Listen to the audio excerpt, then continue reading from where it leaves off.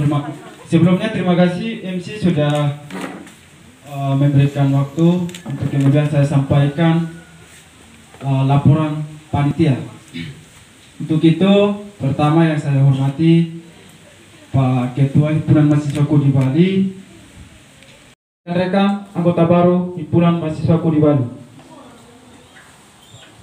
Berikutnya, uh, saya akan sampaikan selamat datang buat teman-teman anggota baru Himpunan Mahasiswa di Bali di acara masa penerimaan anggota baru Himpunan Mahasiswa di Bali yang bertempat di Pondok Jaka.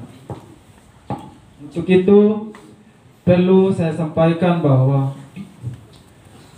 Kegiatan ini adalah bagian daripada program tahunan himpunan mahasiswa di Bali yang dibidangi oleh Pak Lukas.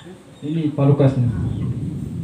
Dan uh, perlu juga saya sampaikan bahwa semenjak teman-teman semua rekan-rekan DPH mempercayai saya untuk uh, menjadi ketua panitia untuk mengawal kegiatan berlangsungnya kegiatan ini sampai pada hari ini.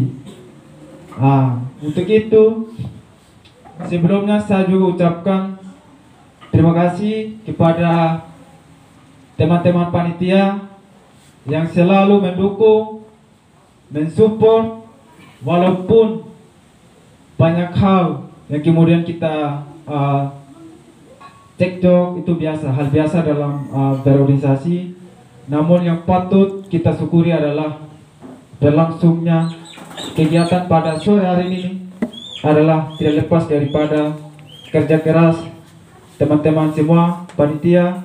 Sekali lagi saya ucapkan terima kasih banyak. Di apa pun kegiatan kita itu tanpa dana tidak mungkin berjalan kan? Kira-kira begitu.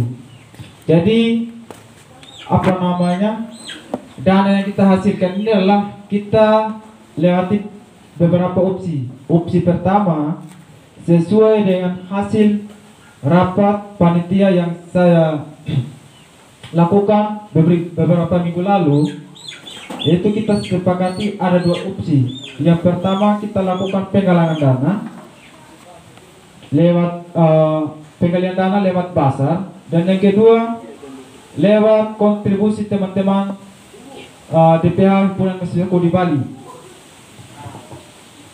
Untuk itu, sekali lagi saya ucapkan terima kasih teman-teman uh, panitia. Mohon maaf jika selama ini kita saling uh, apa namanya cekcok dan banyak apa namanya banyak miskomunikasi baik dalam hal penggalian dana sampai pada hari ini. Berikutnya,